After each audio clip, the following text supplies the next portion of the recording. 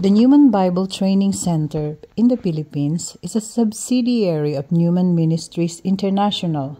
It was started by Drs. Willis and Esmie Newman in obedience to the Great Commission of our Lord Jesus Christ. The target population are mainly village pastors and church workers who cannot attend Bible schools because they do not meet the minimum educational requirements to enroll. And even if they do, often they can't afford it anyway. They know they need Bible education to be able to teach the Bible accurately, equip their members for effective service, and prepare their churches to engage with the unbelieving world. Sometime in 2015, Newman Ministries responded to requests from numerous village pastors from southern Philippines to teach them Bible courses. After much prayers, in 2017, the Newmans started building a training center in Samal, an island off of Davao City, the third largest city in the Philippines. In November 2019, the Newmans quit their jobs and moved to Samal to do full-time ministry. The world came to a halt when COVID-19 pandemic hit in early 2020. Samal was relatively COVID-free, so after 3 months of lockdown, the Newmans decided to open the training center. In just a few months, the student count began to grow and grow and grow. By the end of the year, they had more than 200 students from all over Samal and the neighboring islands, coming from various denominations, including Baptist, Methodist, Pentecostals, even Catholics, among others. The huge need for Bible teaching is evident as the ministry continues to grow. To date, Newman Ministries has around 800 students on its roster in four separate teaching hubs. Newman Ministries offer eight Bible courses, including a, ba- a basic course in systematic theology. At the end of the eight courses, they celebrate student achievement with a graduation. Most of our graduates experience receiving a school certificate for the first time. In the last two years, 220 students have completed the diploma program. Here is a glimpse of a recent graduation.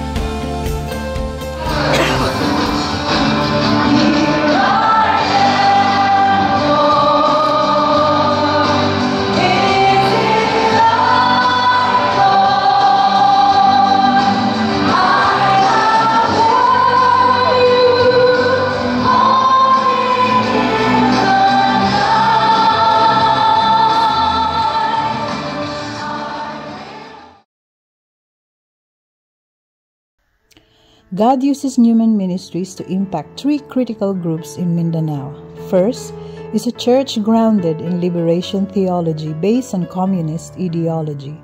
The church is one of the Philippines' largest and most influential Protestant churches. Most of the members are wealthy and educated. For years, this church has actively recruited young people to join rebel groups fighting against the government. They use church funds to buy arms. But God is raising a group of Bible believing evangelical Christians from within the denomination. This group of people do everything to protect, to protect especially their young, and they know that the best way to protect them is to immerse them in Bible teaching. 26 church leaders from this denomination have already completed our program, and we are currently training them to become teachers. The second group are Muslims. Recently, we graduated 23 pastors who minister to predominantly Muslim areas, including where fundamentalist Islamists can be found. The third group are the indigenous tribes. There are 13 identifiable tribes in Mindanao, mainly unreached. A prominent tribal leader has gone through our program and is eager to transfer the training to village pastors who minister to tribal communities. Our ministry continues to grow in pace that we have not anticipated. We need help. Here is Willis to tell you how you can help. And here's how you can help. First, you can pray for us. We are encroaching on enemy territories, and so we face a lot of challenges and also opposition. So pray for boldness. Pray that Esmie and I, along with our team of volunteers, will remain faithful to Him, to His Word, and to the Gospel. Secondly, you can join us. We love hosting short term missions and missionaries, and you can help us in our Bible distribution, our evangelistic efforts, including uh, evangelistic concerts and medical clinics and house to house visitation. Well, you can serve alongside of our volunteers by facility maintenance or simply interacting with the students that come by. So lastly, you can give. A survey by the Philippine Bible Society indicates that there are still 300,000 Christians in Mindanao without a Bible. And so a Bible costs about $2 a piece. We offer our course for free, including the lunches. And our manuals cost about $3 to print, but we also pay an extra dollar and 24 cents per page to have it translated into the local dialect. We now have three or even more volunteer teachers, and we're training more so that eventually the ministry can be run and we'll turn it over to the locals. And the ministry is growing churches, is changing lives, and however, many more Christian workers are begging us to bring the Bible school into their areas. So God has opened wide this door of opportunity to meet a critical need among these brethren.